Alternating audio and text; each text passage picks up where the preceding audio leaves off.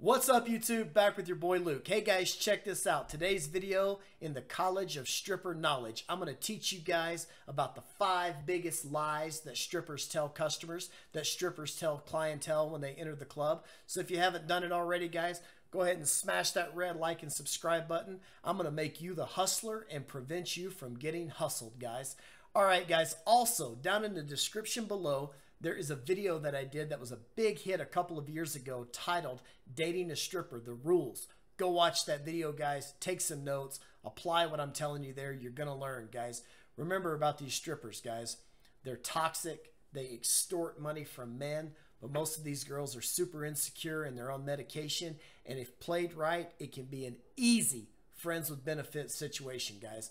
But let's jump right into the video, guys. Starting out, number one, these girls are going to lie to you about their name. All these girls have at least two different names.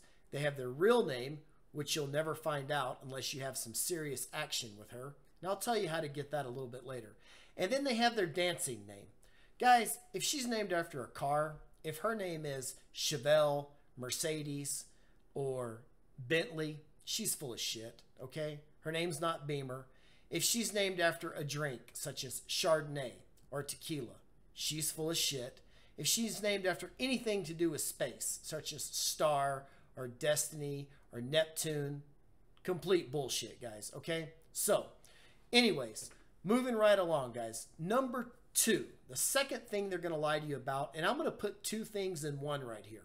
They're going to lie to you about their birthday and their age. A lot of times, guys, I've been in strip clubs in Miami, Florida, San Jose, Costa Rica, Tijuana, Mexico, Las Vegas, Nevada. It seems like every time I'm in a strip club, a girl does a dance, she gets off stage, she walks around to all the customers and she goes, Hey, did you guys enjoy the dance? Yada, yada, yada. Can I have a dollar tip? Today's my birthday. Or, would you like to go upstairs for a private dance? Today's my birthday. I'm trying to make some money. I'm trying to have a good time. It's my birthday. Guys, it's not her birthday, okay? Her name is not Bentley, and today's not her birthday. So, what I do to kind of combat that birthday situation, I go, really? Wow, I'd absolutely pay you a dollar or take you for a private dance if it's really your birthday, but how are you going to prove to me it's your birthday? And just sit there and just ask her how old you are. If she hesitates, guys, when you ask her how old she is, or ask her what, ask her first, how old are you? And she'll say 24. She's probably 32, okay? Then ask her, What year were you born? If she hesitates right there, you know she's full of shit. Anybody knows like that what year they were born without hesitation. So you got name, birthday, and age. They're all going to lie about that. And a little bit later in the video, I'll tell you how to deal with all that. Guys, number three, she's not a grad student. She's not paying her way through college. She might have known somebody in her family that went to college or that was a grad student, but I guarantee them to you, nine times out of 10, it's not her, okay? She's a stripper. She's a hoe. She likes easy money. No one's holding a gun to her head and making her go to work every day.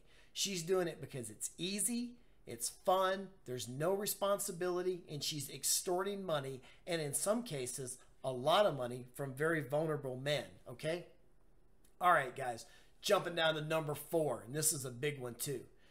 Today's her first day, or it's her first week, or it's only a month that she's been doing this. She's new to the stripper game, and she's just doing this to make some money, and then she's going to get out. She's going to go back to work in corporate America, or she's going to finish school, and she's going to move along up the ladder of corporate America and back to her professional life. Guys, that's not true. She's probably been doing this for years, okay? She does not have any investments. She does not have any money. She's got bad credit, okay? And she's making all this cash. It's easy money, and she's blowing it left and right. Now, she might tell you something like, I don't like this lifestyle. That's another lie, guys.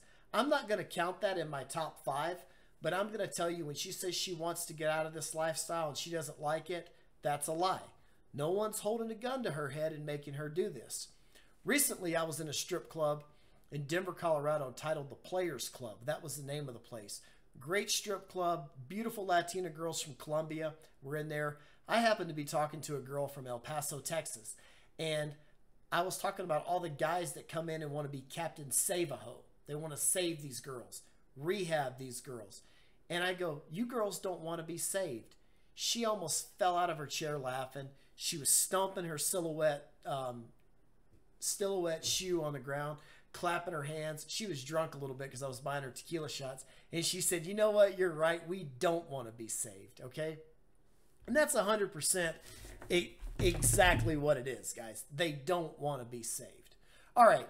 Let me take you back to the front of this video, how you combat their name, their age, and their birthday. Guys, if you can't get that from them, their real information, you got no play. How you combat that? She just asked them to see their ID. Oh, really? Your name's really uh, Star and you're really 22 years old? What year were you born? Let me see your ID. If your name's really Star, if your name's really Chardonnay, then I'll buy you a drink or I'll take you upstairs. Guys, you'd be surprised how many of these girls will actually show it, okay? If they like you and you've got action, they'll show it. Then you get their Facebook account and you move down the road. Now, guys, let me be very clear, crystal clear here. The best thing you can do in a strip club is go in there, have fun, and leave. Smash and dash. Hit it and quit it. Do not get these girls' names, addresses, real phone numbers, texting. Nothing like that, guys. You'd be better off walking through hell in a gasoline suit or jerking off with some sticker berries rather than dealing with these women right here in these strip clubs, okay?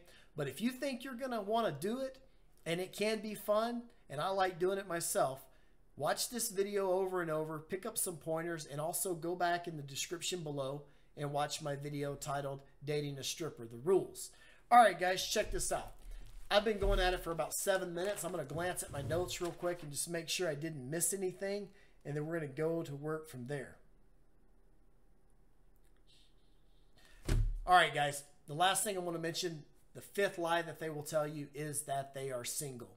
That is bullshit, okay? They might not have a boyfriend, but they definitely have a friend with benefits, okay? 100% they do. Guys, remember, girls have way more opportunity to have sex than men do. For example, I've said this before in other videos. These girls, if they were to walk in to a grocery store in the middle of the day and just scream, hey, I'm looking for a guy to have sex with, damn near every guy in the store would run up to her and be like, hey, I'll do it.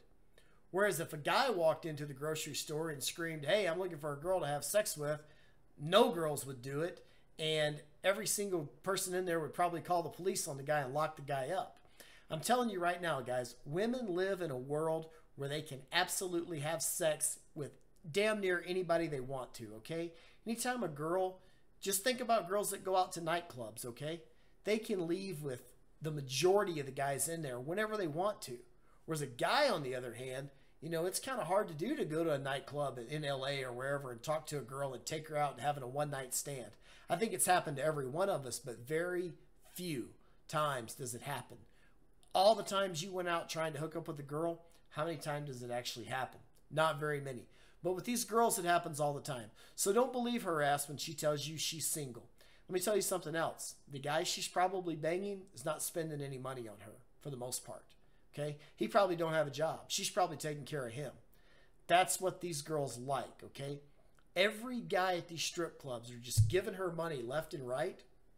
And I know I'm kind of going out on a tangent right now, but these guys are giving her money left and right, giving her attention, trying to save her life. And that doesn't interest them because that happens to them all the time. What interests them is the guy down the street or the, her neighbor who doesn't pay attention to her, who doesn't give her money, doesn't return her text, doesn't call her. He just comes over, smashes and dashes. He hits it, he quits it. That's what interests him. All right, guys, let's go over these five lies one more time so you remember her name, okay? Her age, her birthday, she's not a student, she's not new to this profession, and she does not want to get out of this job, okay? 100%. Guys, if you're new here, smash that red like and subscribe button. I appreciate you attending today's episode of the College of Stripper Knowledge. We'll see you down the road, boys.